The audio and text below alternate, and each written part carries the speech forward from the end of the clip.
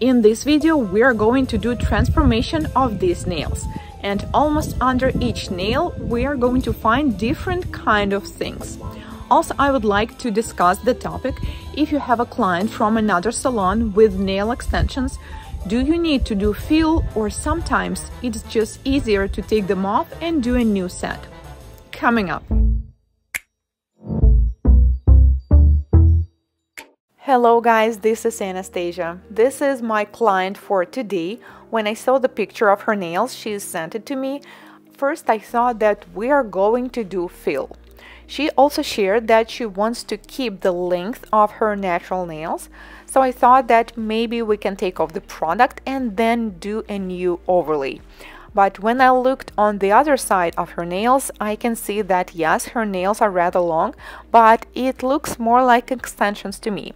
Anyways, I started taking off the product and on the first nail we can see uncured gel. And the reason I'm taking the rest off with the orange wood stick is because I do not want to clog my favorite drill bits.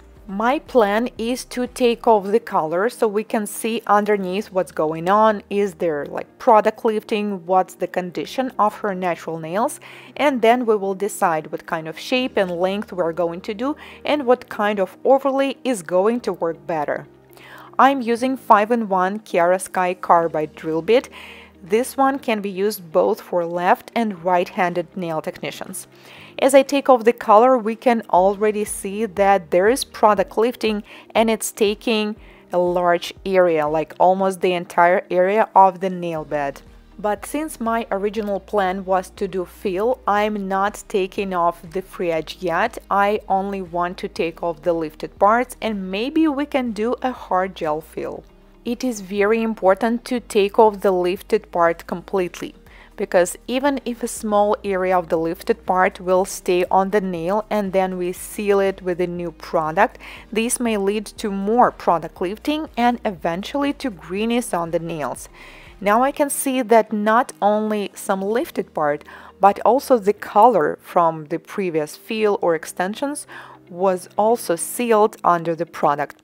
Now our goal is to take off the old product and the product from the previous fill as well.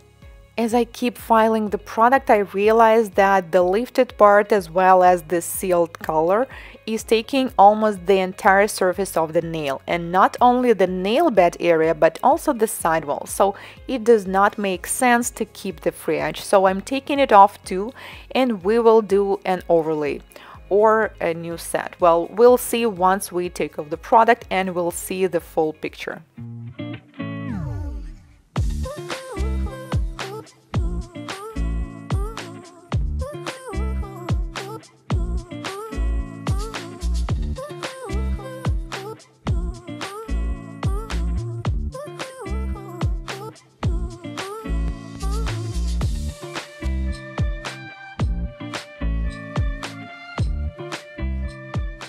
On the next nail we have more lifted areas as well as sealed lifting from the previous fill I suppose as well as sealed color so now we can tell that the previous color was light nude or beige color.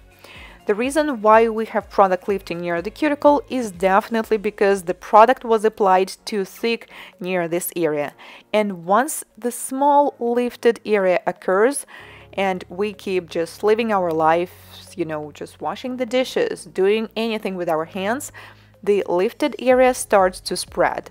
So if the lifting appeared like three weeks ago, then after three weeks, most likely it is going to spread onto the entire nail bed area.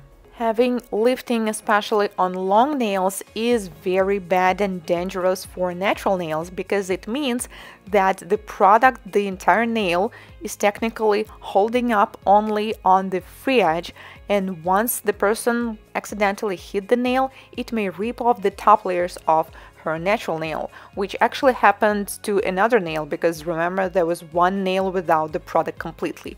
So this is the area that was lifted, which is almost the entire part of the natural nail. And also as I file off this product, I can feel that it seems so brittle and easy to file off. The speed I'm using is almost max, it's 28,000 rotations per minute and it's super easy to take off the product. One of the reasons is definitely because it's lifted and another one is just so easy to take off. We also have some sealed color underneath, so I really do not think it will make any sense to keep the product on the nail. Even though I usually try to leave a thin layer, in this case it just will not make sense, so I'm taking it off completely.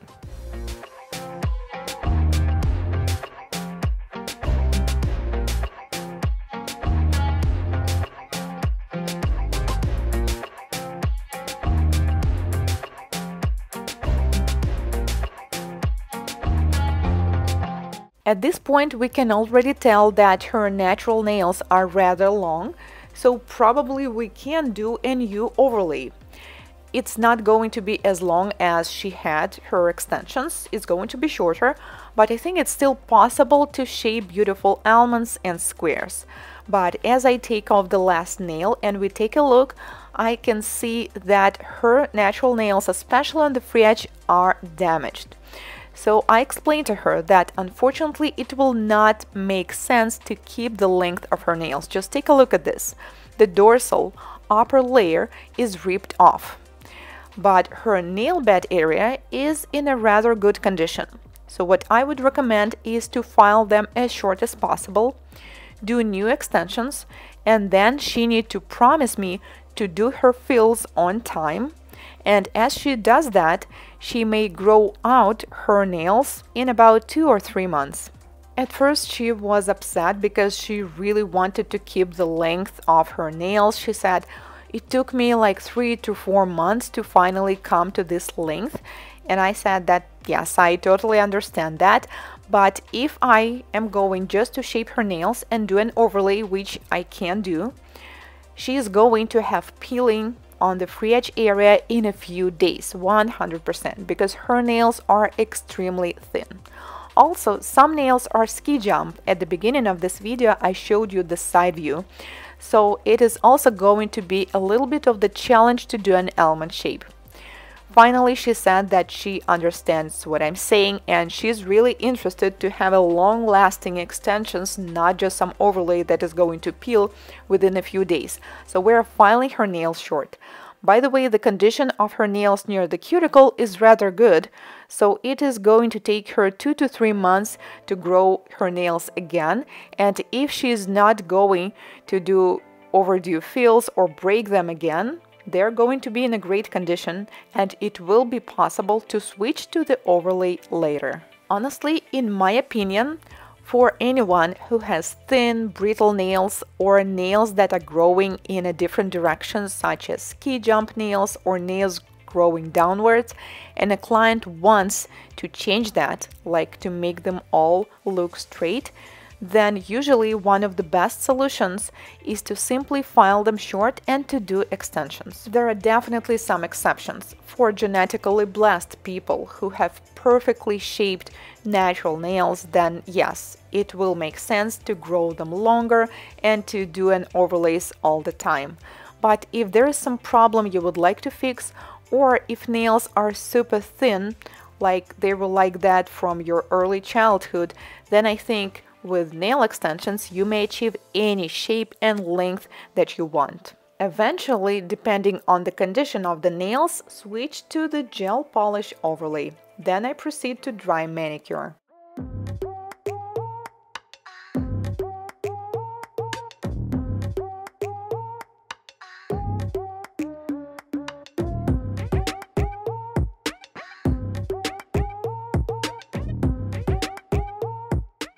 Finally, I'm trimming cuticles and eponychium with manicure scissors. I also took off the surface shine with a buffer and take a look at her nails now. She was also surprised by it because her nails are in a pretty good condition, except for the one that was ripped off. So what I'm saying is that after a few months they are going to look great. It was only the free edge that was damaged and definitely needed to be filed off. I think the best option is definitely new extensions. First, we were thinking of doing the same length and shape, almond shape, but then we decided to try something different because I have something in mind, different shape that is going to look great on her too. I applied dehydrator, let dry, then I applied non-acid primer. Make sure you are not touching the surrounding skin. Then I'm going to use a base coat. I prefer the one by Kupa. Apply a thin coat. Also do not touch the surrounding skin, especially the sidewalls. If you did, clean it immediately, because as you're going to apply gel or polygel on top, it may flood the sidewalls. Cure in LED for 30 seconds. I'm going to use polygel and dual forms, and we're going to do different colors on each nail.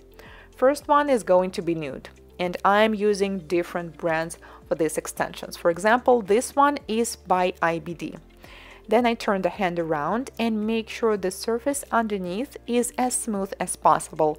And I'm also using ballerina or coffin shaped dual forms because this is the shape we decided to do. On another nail, I'm using this magenta color by Saviland. By the way, I think this one also glows in the dark and the white color. Mix them a little bit but not too much, because our goal is not to mix the colors together, but to get a beautiful marble look. Apply the product into the dual form and then attach it onto the nail.